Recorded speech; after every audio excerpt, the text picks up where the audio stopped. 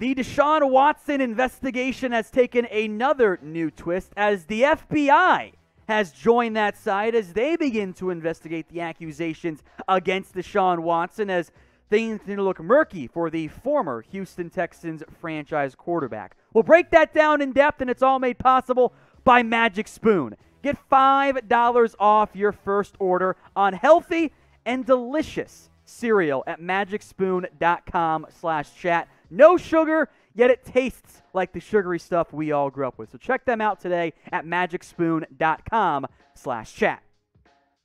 All right, so the Deshaun Watson investigation in depth on this frontier as it relates to the Texans, and now the FBI has joined the I don't know if drama is the right word, the, the, the trouble that Watson is currently facing off the football field. Now, this news was actually broken yesterday on Tuesday by CBS Sports' Amy Dash that the FBI has launched an investigation into the Deshaun Watson allegations. And for those of you that, of course, are forgetful or just don't remember what's going on there, there are 20 plus accusations, civil suits against Deshaun Watson, alleging sexual misconduct as part of massages and a very severe and troubling allegations from that point. Now, Dash had interviewed the lawyer for those plaintiffs, Tony Buzbee. and Buzbee said the FBI has already met with several placements, plaintiffs, which originally was disputed by Deshaun Watson's attorney, Rusty Hardin. We'll get to that more in depth in a second. Here's what Buzbee told Dash. Quote, let's be clear.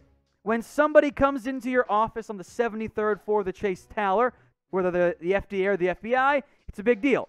Well, it was the FBI. They contacted me, and I've met with them three times now, and they've met with several of the plaintiffs in this case. Now, Buzbee's quoting here an FBI agent or paraphrasing, whatever. FBI agent's like, look, what I've heard is that most of the reach outs occurred via the internet, which gives us juris, which creates jurisdiction for us. Excuse me. But then I understand there were two, there were these two women that were from out of state, which obviously creates more jurisdiction as well. Now, when Amy Dash had reached out to Deshaun Watson's attorney, Rusty Hardin, on August 13th, here's what Hardin said Quote, I have absolutely no reason to believe that Deshaun Watson is being investigated by the FBI.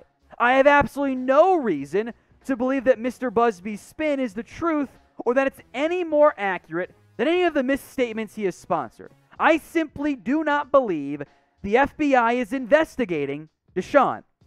Well, now today, as part of a press conference, Hardin has very much changed his tune. Quote, I don't think they're investigating Deshaun. What they're investigating is the allegations Buzbee made in his lawsuits. I didn't know about that until yesterday. I checked it out. It's true. They are. Hardin also said this. In April, the FBI came to us and told us they were investigating a matter as to whether one of Mr. B- Buzbee's clients had committed extortion in the way they were demanding money from Deshaun or what they would do if they didn't pay it. Now, that is significant because those last two quotes from Watson's attorney are very different than the first one that he provided Amy Dash. And I get it. Look, there's lawyer speak, etc., blah, blah, blah. You're trying to put up a good public front for your client. That is a substantial difference in terms of what Hardin said previously and what he said today. He didn't mention the FBI stuff to Dash. Now he is in his public comments. There is, in reality, a battle of in the court of public opinion going on right now for Watson's camp and the plaintiff's camp trying to win uh, the, the groundswell of public opinion and win their case in the end. But this is another investigation into Deshaun Watson. That is significant as it relates to what is going on with the future of Watson in the NFL, the civil suits, and of course the legal ramifications as well. Uh, as mentioned, today's show made possible by Magic Spoon.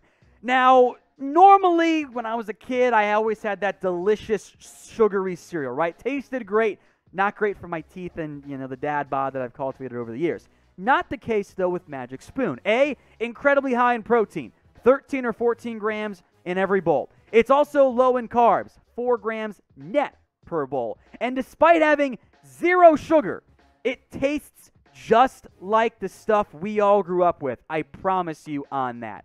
So get $5 off your first order of a boxer, hell, maybe four, over at magicspoon.com slash chat. That link, A, right there, bottom of your screen. There will also be a clickable one for you guys in both the comment section and in the description. So the FBI, they are now involved in this investigation, adding another layer of, of complexity to what is probably going to be a rather drawn out process. The FBI, they are now investigating Watson for frankly what's what's going to come down to some potentially very serious charges because by if if if Watson did it and again, we'll let the process play out. If Watson did what he is accused of, by having women, by flying women in from out of state, that puts him up against potential human trafficking charges, which is kind of a big freaking deal if you're Deshaun Watson and you don't want to spend a lot of time of your life in jail. The Houston PD, of course, they are investigating. I got my notes here real quick. Uh, eight, there are they have interviewed 10 plaintiffs that we know of so far, eight of whom are among the 22 civil lawsuit plaintiffs, so that's significant. The Harris County, allegedly, the DA has convened a grand jury. Subpoenas have gone out, so that could be coming down soon. And oh, by the way, the NFL, they are investigating Deshaun Watson and coming under public scrutiny so far for their handling as some of the alleged victims have spoken out how they felt treated by the NFL. The NFL one impacts Watson's job in the short term, but of course, the legal ones are pretty damn significant as well. So, will Deshaun Watson play this year? This is like the elephant in the room, right? The big question around his future in the NFL. Uh, he's out there in the weirdest situation ever at, at camp, not participating. He's going to play at all this year?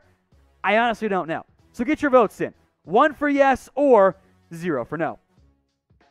I mentioned the weirdness, right? And this is such a weird situation. Deshaun Watson is a franchise quarterback on the field only, right?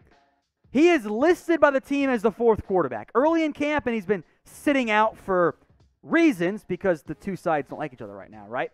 Is that Deshaun Watson is the fourth quarterback on the team and got reps as the as the scout team safety.